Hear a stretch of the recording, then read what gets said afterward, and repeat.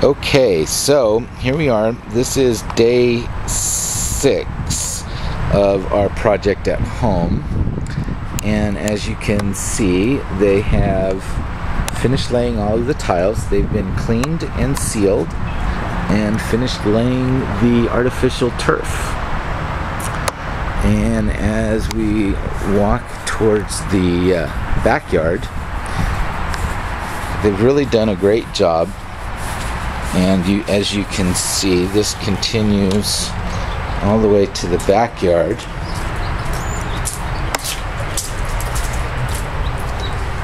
And we started to uh, set the backyard area up with some bird fountains obviously our barbecue our little tent.